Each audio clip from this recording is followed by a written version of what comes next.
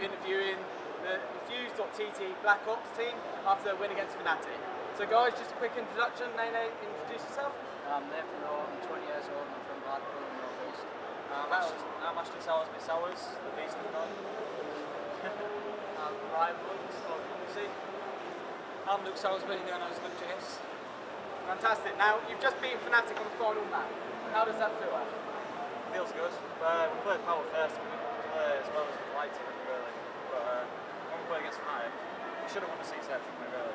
We threw away, really. And then uh, on demo, we played so much better. Pulled so many punches off, this to do, just finished it off. But uh, we expected to beat them, really. We knew how good we could play. After power, we just knew we had to step our game up, and that's what we did. So, against well, we did that as well. Fantastic. Now, obviously, Luke, you brought off that sick 2v1 clutch in that S&D. So how do you feel the rest of the tournament's going to go? Well, I think Power will definitely be in the final. Um, I think we've got a very good chance against Warwick. Um, they didn't play too well against Knight, but I still think I still think we can play a lot better. than we. Um, so yeah, I still think there's a strong chance we can get in the final. Okay, now, um, obviously, obviously, you're the newest member to the team. So how are you finding it at the moment? I'm finding it good uh, after experiencing all the Ashes online. You are?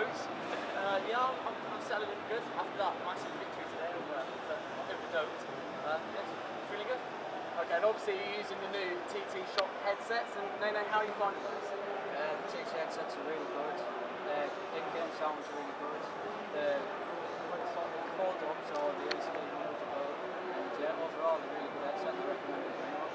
They're my amazing comps as well. Very clear. Okay, and uh, finally your thoughts, Ash. Hawks, uh, didn't play anywhere near as well as we should have against Power. Whereas it's one of the worst we've Still ever the played. worst. Well, we were just average really. Um, well, I think we can still be well and go on. And obviously, looking at the positives, did just smash Fnatic on the final map. So it's Nat B here at Gadget Show Live. Also, thanks to our sponsors, uh,